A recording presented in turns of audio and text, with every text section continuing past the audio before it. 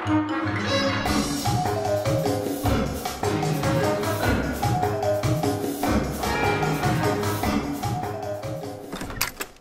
me to the moon and let. Oh, hello. I didn't expect anyone to be here so early. Always get in early. Tradecraft and tactics. Stake out your battleground, the cover, exits and entrances. Um, this is an office, you mean? Desk, chairs, door, window? Maybe to you, but to me, life and death. Arms up. Oh, that tickles. Hey, there's nothing hidden there. Oh, and there's certainly nothing hidden there. Okay, you're clean. Uh, no, I'm Arthur. Sorry, just putting on my brave face. And you are? Ah, you're not from the Secret Service labs by any chance, are you? Labs? What labs? You know, under the MI5 building in. Try what you like, but you won't get anything out of me. Cover me. With what? The door. You never know who's there. Well, looking through the glass, it's a middle aged, sad faced woman in a high vis jacket. Ha! Appearances. The sweetest deceiver. What are you doing? Taking cover.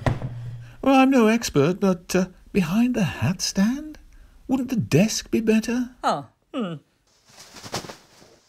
Hit the dirt. Oh, I don't really want to get my trousers dirty. Don't worry, I'll take on this perilous mission. Ready, steady. Hello, do come in. I expect you're here for the special unit. Yes, I am. Lynn. Arthur, and this is.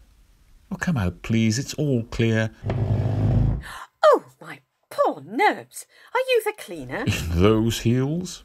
if only you knew. Knew what? Good. Quick, too. Right answer. You've got potential.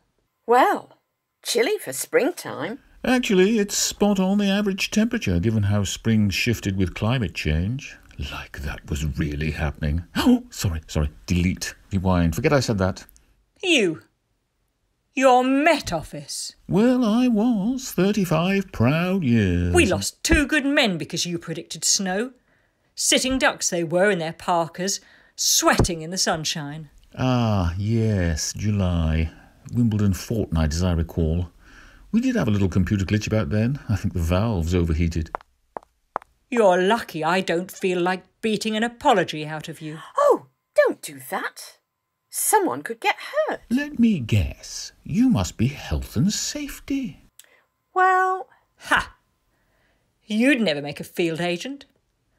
The tanned hands, but not forearms, show she spent long days outside with a jacket on. The small calluses on her fingers mean she's been gripping an object, and the tiny scuff marks on her very sensible shoes are indicative of contact with curbstones. She is a lollipop lady. I say, that's amazing. And wrong. I am health and safety. Six happy months at the driving research unit, or was. Oh, look, is that a fax machine? Oh, so 1990s, so retro, so cute. Ah, there's no paper in it, poor thing. Are you hungry, little machine? Hang on.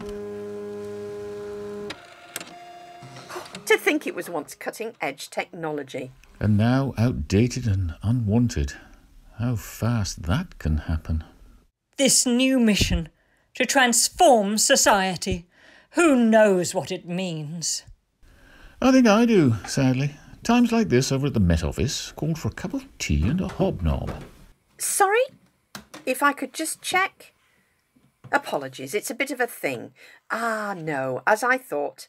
The kettle's electrical safety certificate ran out yesterday. Oh, let's live dangerously. Just call me the cords and tweed jacket daredevil. Hell, my deadbeat, discarded new workmates, right? A pleasure to meet you, too. Jeez, get her off me!